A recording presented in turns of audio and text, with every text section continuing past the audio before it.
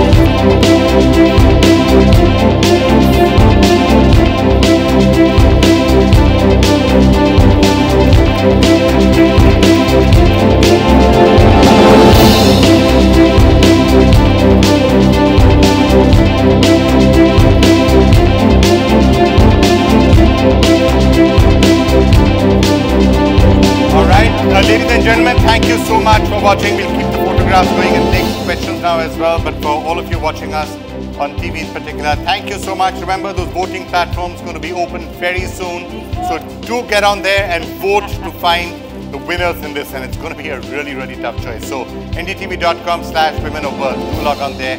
You can also vote on the app, Facebook, all sorts of places. So do log on. Bye. All right. We can now take some questions.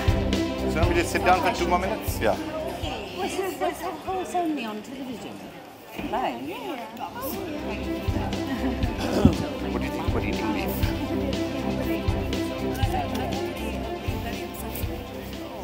I'm just waiting for that question to be asked by somebody. She lives in New Delhi. She's very fit, she's in very good shape. All right, um, any questions? Yeah, the gentleman there. Yeah, well, good afternoon, everyone. Uh, so, firstly, I would like to congratulate all the dignitaries uh, for coming up with such a great initiative, uh, which you are calling a philanthropic uh, initiative, which is called uh, Women of Worth. So, I've got two questions. I think uh, should ask with Sonam first. Sonam, since this event is related to women, and India is an emerging country in the world.